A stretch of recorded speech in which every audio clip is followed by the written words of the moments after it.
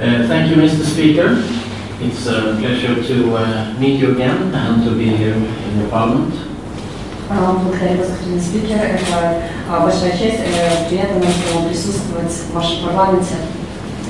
Uh, I, um, I must say it's always uh, a pleasure to come here. I feel uh, welcome and uh, I uh, feel a good atmosphere of working uh, and uh, with your um, colleagues and, and um, um, I had the experience last year being the special uh, coordinator also during the presidential elections and uh, it was also recognized that uh, we received uh, good cooperation from from uh, the Bel- Belarusian sides, not just centrally but also throughout the country.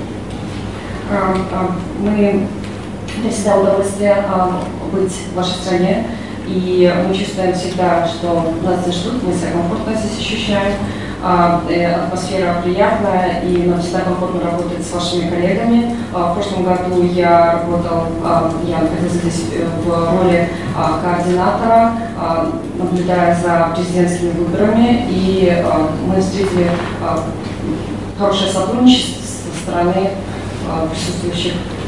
Uh, last year we also welcomed, of course, the return of Council of Europe, also PACE being here again uh, in the country.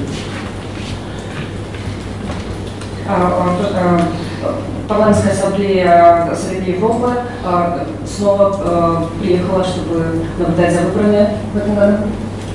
And of course, um, being appointed special coordinator for two elections um, in, in within one year in the same country is is quite a unique uh, situation. So I, I think maybe I'm the first one ever that have this opportunity to be special coordinator uh, uh, in the same country for two elections within one year.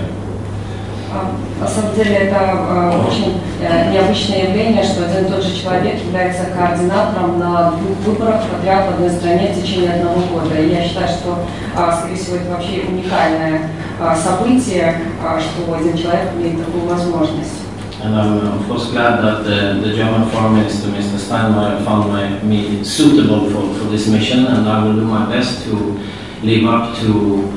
To uh, the expectations from the OSCE member countries.